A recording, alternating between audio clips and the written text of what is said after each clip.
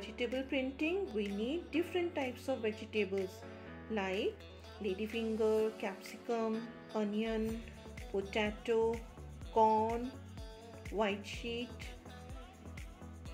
watercolor, extra clothes, brush and water. तो सबसे पहले हम क्या करेंगे? पोटैटो की प्रिंटिंग करेंगे। मैम ने पोटैटो को दो पीस में कट किया और उसके ऊपर देखो फ्लावर की शेप बनाई है। तो ये आप नहीं करोगे, आप अपने पेरेंट्स को बोलोगे, ठीक है? वो कोई भी शेप बना सकते हैं। और जो सेकेंड हाफ़ पीस था, उसमें मैम ने लीफ की शेप बनाई है। लीफ शेप में पोटैटो को कट किया है। ओके तो अब हम सबसे पहले ये जो मैम ने शेप कट की है, इसके ऊपर कलर करेंगे। और उसके बाद प्रिंटिंग स्टार्ट करेंगे। Let's start